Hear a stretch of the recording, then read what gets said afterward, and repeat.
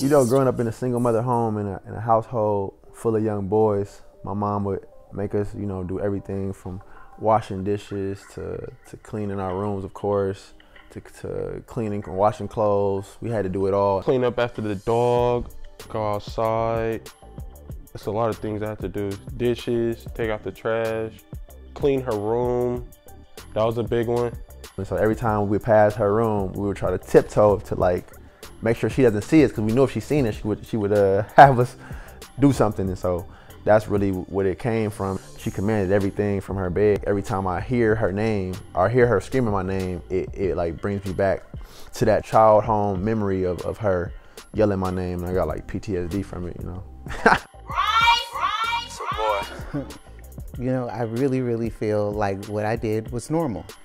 Um, the whole time I grew up, my mother would call you from outside to, to, change the television. Like, you guys got it easy, you know?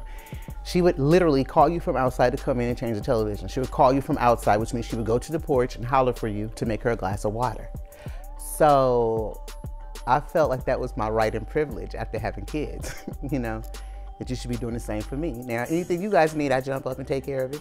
I can't front and say that I ask you guys to do things or holler for you guys to come and do things for me because I'm trying to teach you some character trait. No, I just want this, I just need my remote. One thing a black mother can't stand is to see you sitting down. if I see you sitting down, I'm trying to find some kind of job that you can do. Can you walk the dog? Can you take the trash out? Can you help me hang my pictures? Just whatever it is.